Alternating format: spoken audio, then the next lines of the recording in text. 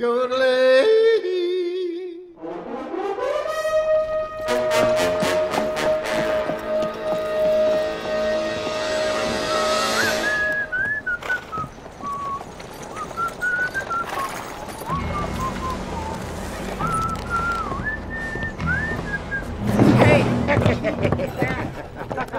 do you know? Free apples.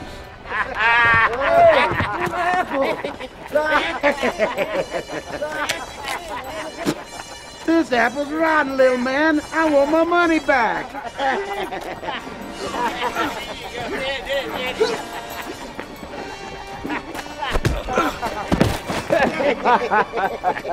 Pick up them apples, boy. No. You pick them up. If it doesn't have that yellow tag, you don't want it.